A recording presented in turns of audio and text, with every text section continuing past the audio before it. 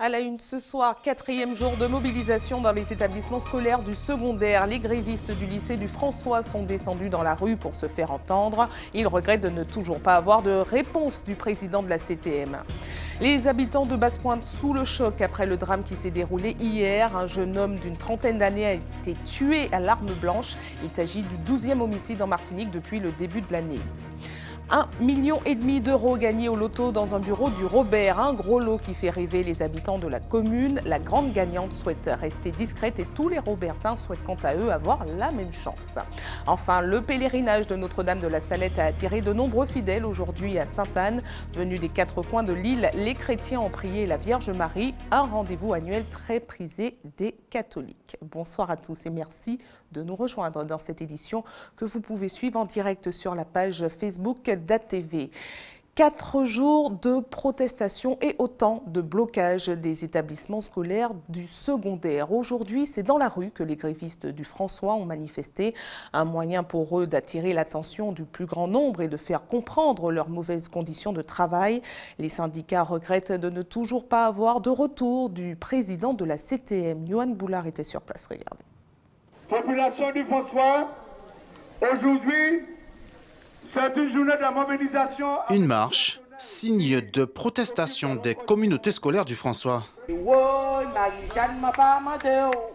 Le discours s'adresse directement au président de l'exécutif.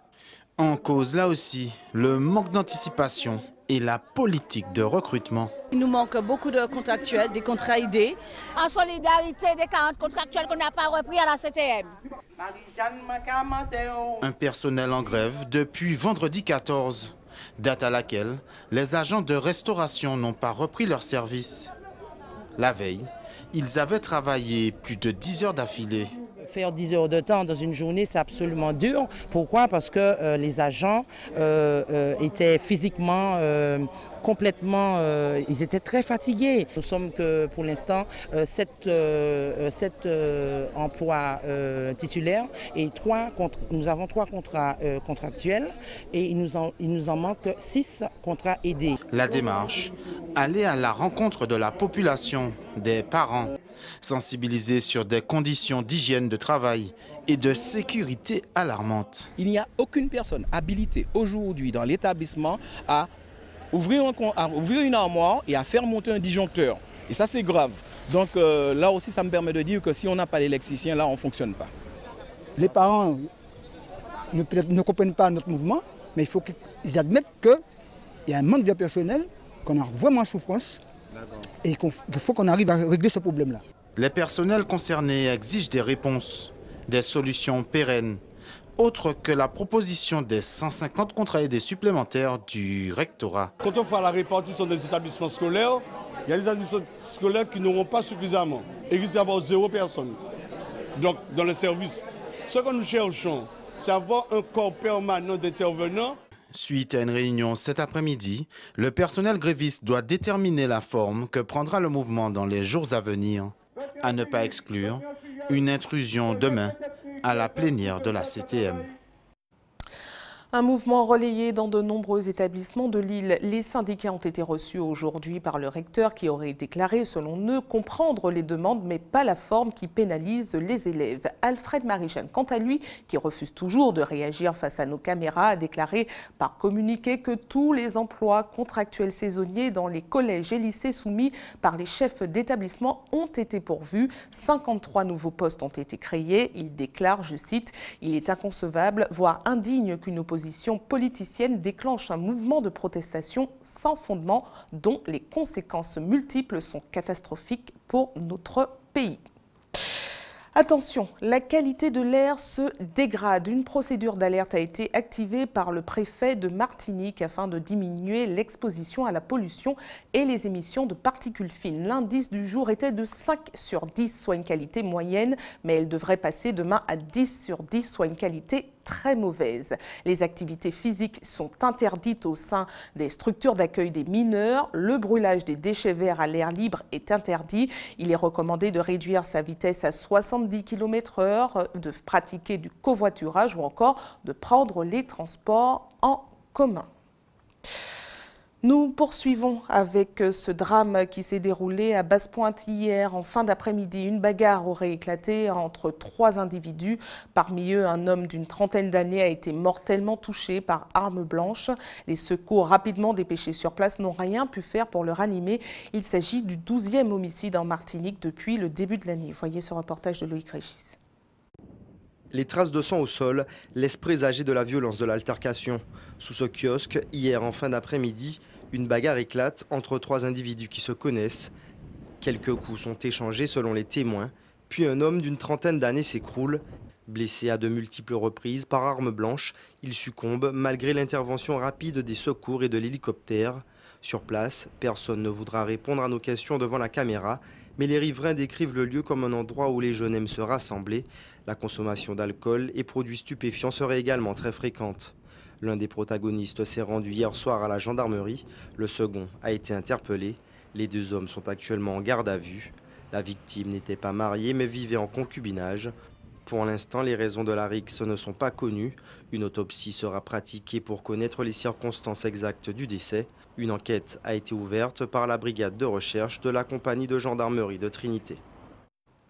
Un drame qui s'est déroulé sous un kiosque à Basse-Pointe et qui fait craindre le pire aux habitants de la cité La Gâchette au Robert. Justement, un kiosque qui servirait d'espace de vie pour les jeunes serait dans le collimateur des autorités.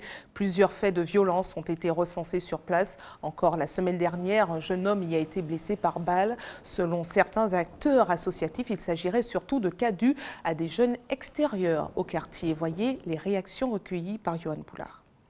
Mouja, donk pon nou ke isi resti tranquil, pa isi deranje moun, epi ke la yo le kaze, ki feke se la yo ke kaze, sa ke menen nou a li bo le batiman empeshe le paran kote jounal, empeshe le chanmen la pesa soti de wos san yo pando de la fimen. Nou ka pataje epi gran moun, ti moun, tout moun an kwa, se te pou le kaotche etou, epi euh, wala voilà, kwa, chak fwa nou te ka fwa, nou pe den kompen, nou pe den zami, nou toujou te ka mette anti memorial, ka mette noy, ka mette plak lotoy, nou ka ese elite justement pou ke sa reste men manye ke nou nou menm ti atat lan, menm ti faso de vive la kwa. Défunt Dani Blameb, de responsable de la CIMA et connu dans le monde associatif et sportif, un jour je lui fais la remarque que nos jeunes sont sous des arbres comme des animaux. Il y a eu des réunions avec les jeunes pour trouver euh, une forme de, de, lionnage avec la CIMAR, leur propre désir. Et c'est ainsi qu'est né ce petit espace et ce kiosque, et euh, avec une association informelle. Dans toute, euh, dans toute société, il y a, c'est clair, des problèmes sociaux, des difficultés, et c'est pourquoi il y a un certain nombre d'instances, que ce soit la gendarmerie, que ce soit la police municipale, et les autorités politiques et d'État, et les associations. Maintenant, il faut qu'il y ait un lionnage, il faut qu'il y ait une, discussion et un dialogue. Un million et demi d'euros, une somme qui fait rêver, qui a été remportée par une habitante du Robert grâce au loto du patrimoine. Il s'agit du gain le plus important pour ce jeu. Dans le bureau où a été vendu le fameux ticket gagnant, c'est désormais l'euphorie, au cas où il y aurait un deuxième gros lot à décrocher. Voyez les réactions recueillies sur place par Loïc Richis. Avoir 1,5 million, euh, vraiment c'est chapeau, chapeau. Je peux pas, j'ai pas les mots pour. Donc voilà quoi en espérant que cette personne puisse euh, s'amuser, s'épanouir avec. Surtout voyager, ne pas rester ici. Voyager, profiter quoi. Ça me donne envie de jouer encore plus. Que ça, ça je suis content pour la personne. C'est impressionnant de gagner ça en Martinique. C'est pas tout le monde qui gagne ça, à part au loto, au tirage c'est impressionnant tout ça. Moi je suis un joueur régulier, mais je suis elle et puis surtout que comment dire ça, ce loto était fait aussi pour la maison euh, d'Aimé Césaire, donc quelque part la Martinique participait un peu à cette mission sur le patrimoine. Ça a été un formidable moment de joie. Euh, on est resté, euh, j'étais avec la cliente à ce moment-là et on est resté un petit peu bouche bée tous, les deux en regardant plusieurs fois le jeu pour, vraiment confirmer que c'était vraiment le gros lot puisque c'est le plus gros lot de grattage qu'on peut gagner en ce moment avec l'opération du patrimoine pour la France. Tout le monde sera intéressé, on a déjà eu un petit peu des retours ce matin, euh, malgré que ça ne se sache pas encore beaucoup. Mais euh, beaucoup de gens nous demandent euh, est-ce que c'est bien chez vous? Donc nous on confirme et on espère que ben, les clients continueront à venir dans notre point de vente. Autre bonne nouvelle pour le grand port maritime de la Martinique cette fois-ci. Il est classé à la deuxième place du Seatrade Cruise Award 2018 dans la catégorie port de l'année. Avec 278 escales enregistrées en 2017 et plus de 620 000 passagers, le grand port maritime de Martinique a largement progressé dans le secteur de la croisière, ce qui lui a permis de décrocher la deuxième place après le port de Dublin et avant celui du Québec. C'est un rendez-vous annuel très prisé des catholiques et qui a encore attiré de nombreux fidèles aujourd'hui. Le pèlerinage de Notre-Dame de la Salette s'est déroulé à Sainte-Anne. Céline Chanono a rencontré ce matin les croyants venus des quatre coins de l'île. Regardez. Eux sont des habitués de la marche dominicale, mais aujourd'hui, leurs chants et leurs pas sont pour célébrer Notre-Dame de la Salette. Partis très tôt du Gros Morne, ils sont bien décidés à vivre pleinement ce moment de ferveur religieuse. Alors nous allons bien entendu accueillir Monseigneur parce que nous faisons partie aujourd'hui d'Ecclésiam 2020, le projet de l'évêque. Donc nous allons l'accueillir, bien entendu, par nos chants. Et puis ensuite, nous allons rester avec les pèlerins marcher avec les pèlerins, chanter avec les pèlerins. On a vu hein, qu'ils ont commencé à chanter avec nous, à lever la main avec nous. Après une rude montée sur le chemin caillouteux du calvaire, cette Samaritaine de 85 ans ne regrette pas sa pieuse ascension des 14 stations. Depuis 20 ans, chaque année, c'est en famille qu'elle vient à ce rendez-vous et elle n'est pas la seule. Je suis partie chez moi à 5 h du matin. Je suis venue ici à 7 h pour écouter écouter la parole de Dieu, assister à la messe de Dieu avec les frères et sœurs. Je souffre, mais je, je fais un effort pour venir, pour venir à la messe, pour adorer mon mari, pour, pour prier et pour écouter la parole de Dieu. Après la messe, on a dit qu'on a allumé une petite bougie, on va monter au calvaire. Mais elle ne voulait pas. Elle me dit, bon, on va arriver au premier et puis on va redescendre. Elle était essoufflée déjà. J'ai dit, mais non, le Seigneur est grand, il va nous donner la force pour y arriver jusqu'en haut. Et du coup, on est allé jusqu'en haut. On est redynamisé. On est redynamisé dans l'amour et dans la paix du Christ. À quelques mètres à peine de l'église, une nouvelle enseigne propose à la vente depuis deux mois des objets religieux. Pour cette journée particulière, Rita, la gérante, a pensé aux indispensables du bon pèlerin. Ah, la tendance, c'est 100% chapelet. Euh, c'est des chapelets qui veulent. Et puis aujourd'hui aussi, il y a les, les encens de la salette, euh, tout ce qui concerne la salette. Et puis aussi, ils se préparent pour Saint-Michel. Donc j'ai beaucoup de neuvaines de Saint-Michel qui ont été achetées ce matin. Deuxième plus grand rassemblement catholique en Martinique, Notre-Dame de la Salette reste le rendez-vous incontournable depuis plus de 150 ans. Ce matin, à Sainte-Anne, l'église du bourg était presque trop petite pour accueillir l'ensemble des pèlerins. La nuit de l'accessibilité, une manifestation pour sensibiliser le grand public aux problèmes que rencontrent au quotidien les personnes en situation de handicap. Le rendez-vous est fixé ce samedi à Sainte-Luce et pour en parler, nous recevons le coordinateur de l'événement, Florent Pancaldi. Bonsoir à vous. Bonsoir. Merci d'avoir accepté notre invitation. Alors, vous organisez euh, une manifestation pour sensibiliser le grand public, on a dit, aux difficultés que rencontrent les personnes en situation de handicap. Avant de commencer cet entretien, je vous propose de regarder un reportage qui a été réalisé dans les rues de la capitale à Fort-de-France. On regarde. Dans son fauteuil roulant, Francine a bien du mal à appeler la réception de cet hôtel. C'est pas possible ça. Sur le pas de la porte, elle est forcée de se maintenir d'une main quand de l'autre, elle doit atteindre une inaccessible sonnette. Mais elle n'est pas au bout de ses mauvaises surprises. Les trottoirs sont difficilement praticables ou alors impossibles à emprunter. Une réalité qui éclate au visage de celle qui, à l'occasion de la nuit de l'accessibilité, s'est mise dans la peau d'une personne à mobilité réduite. C'est vraiment compliqué pour une personne handicapée. Il faut toujours qu'elle soit accompagnée. Il n'y a pas d'autonomie possible pour l'instant. C'est le lot quotidien des vraies personnes à mobilité réduite. Sortir seul demande une grande organisation malgré les récents aménagements dans la cité. Souvent, ce sont des marches qui font obstacle à, l'accession dans le magasin. Et puis il y a aussi le problème euh, à l'intérieur des magasins même où les allées ne sont pas aux normes, euh, parce qu'il y a des normes qui sont précisées par la loi. Depuis 2005, une loi oblige les commerçants à se mettre en conformité. Mais ce n'est qu'à l'approche des échéances que les démarches de travaux dans les établissements arrivent sur le bureau des autorités. Tous les établissements qui reçoivent du public devraient être accessibles, quels qu'ils soient, petits commerces, administration, euh, euh, grands établissements, supermarchés, hôtels, euh, tout.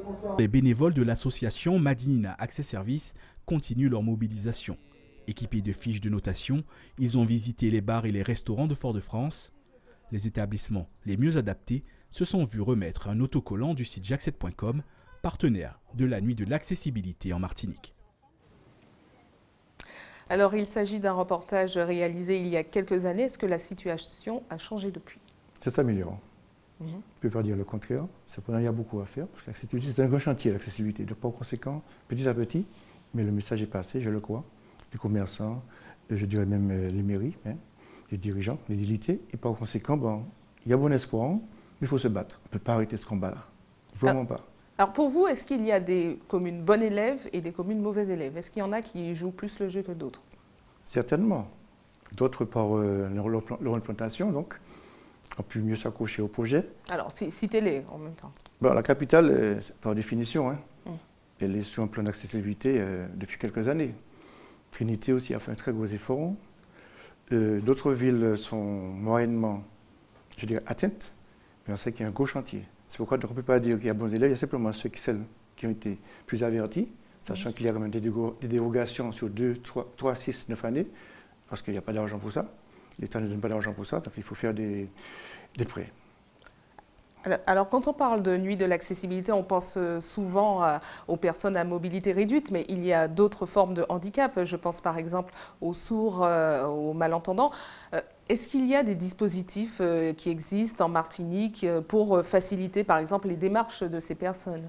On commence à avoir de la technologie, on va dire, pour les, malentendants. Pavillon bouche ce sont des balises. Aussi pour les non-voyants, bon, les, les bonnes pododactyles, pour le traçage des pistes, hein, des, allées. Et donc, on sait très bien qu'il y a des technologies. Il y a toujours derrière, parfois, une question d'argent ou de budget qui n'est pas prévu pour nous. Mhm. Mais cependant, on entend parler de plus en plus de cela depuis, je dirais, quelques années, avant 2010, puisqu'il y avait l'échéance 2005-2015. Oui. Et donc, euh, petit à petit, donc moyennement, les gens s'équipent. Ça a été suivi des faits dans les administrations? Oui. Pavillon Rouge, par exemple, est équipé. Mhm. ça fait, c'est de longue date, c'est normal. Il reçoit un public assez conséquent. Et d'autres établissements aussi, les hôtels, prioritairement, bien entendu, hein, parce qu'ils reçoivent toutes sortes de clientèle. Donc, euh, il y a une avancée lente, certaine, mais ce n'est pas encore là où il est. Voilà. Alors, votre manifestation, on est à sa cinquième édition. Est-ce que euh, vous avez constaté une évolution, un changement des mentalités du grand public, puisque vous faites de la sensibilisation? Absolument. On en a fait aussi auprès des grandes surfaces, hein, mhm. l'opération euh, justice hein, pour les, les droits des personnes prioritaires.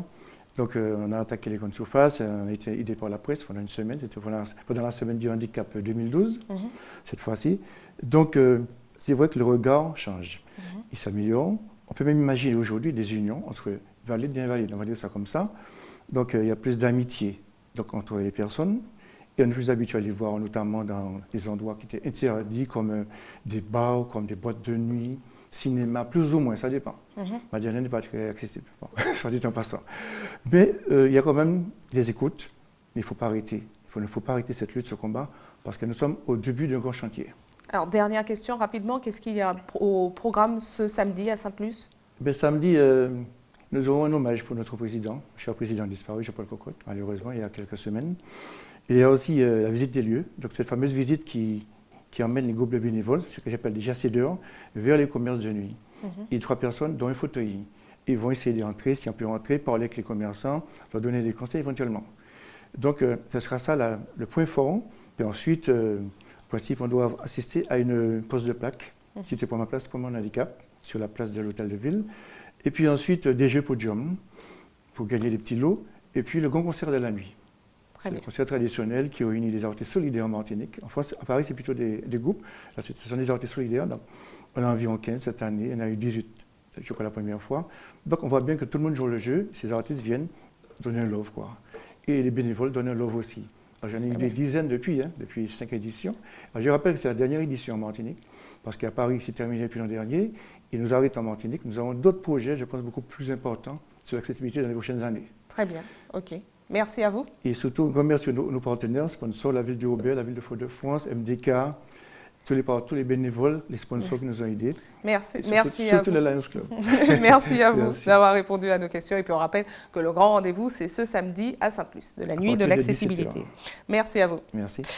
Information pratique avant de refermer cette édition. À l'attention de ceux qui souhaitent faire un don de sang demain, notez que deux collectes mobiles seront organisées. La première de 9h à 14h sur le parking du centre commercial Place d'Armes au Lamentin et la seconde de 8h à 12h à la zone Maniti devant Bamitel au Lamentin. Enfin, une troisième possibilité, une équipe se tient toujours à votre disposition de 9h à 16h à la maison du don derrière le CHU Pierre Zobda-Kittmann au quartier Lamena à Fort-de-France. Et c'est la fin de cette édition. Avant de vous quitter, je vous rappelle les principaux titres développés ce soir. Quatrième jour de mobilisation dans les établissements scolaires du secondaire. Les grévistes du lycée du François sont descendus dans la rue pour se faire entendre. Ils regrettent de ne toujours pas avoir eu de réponse du président de la CTM. Les habitants de Basse-Pointe sous le choc après le drame qui s'est déroulé hier. Un jeune homme d'une trentaine d'années a été tué à l'arme blanche. Il s'agit du 12e homicide en Martinique depuis le début de l'année.